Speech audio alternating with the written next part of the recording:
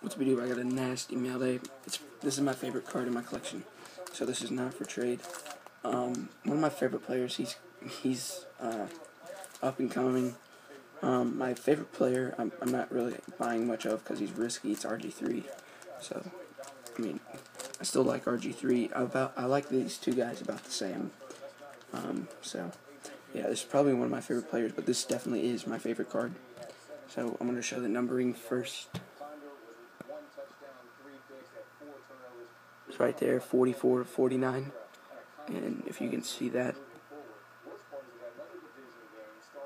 prime, which means patch. In the front, I'll start with the auto. I'll just slide down. It's the green parallel, that's why it's numbered at 49. From Crown Royale. You know that autograph. Boom. Andrew Luck two color patch auto. This one actually doesn't have any chipping. It's in like perfect condition. These things get damaged so easy. These Crown Royale somehow, but perfectly centered two color patch auto silhouette rookie patch auto out of 49. The super short print. The regular one's at a 3.99. I'm pretty sure. So yeah, these sell really well. Um, I traded with Pack Attack 4. He's um, he doesn't have any videos, but he's well known on like Justin TV and those type of things. So, yeah, beautiful card. My favorite card in my collection, not for trade. Um, so yeah. Um, so basically now my whole collection is quarterback autos,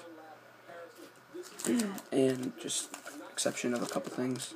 But yeah, quarterbacks. The reason I'm going all in, they're like the most reliable to keep their value because running backs they get hurt all the time, and then but quarterbacks are like the most famous people on their team usually. So, yeah, if I ever wanted to sell stuff, I can easily sell quarterbacks. So, yeah, um, let me know what you guys think. Awesome, awesome card. Uh, there's only been a couple on eBay out of 49. This one's in really good condition. They'd probably grade a 9, which is really good for these type of cards.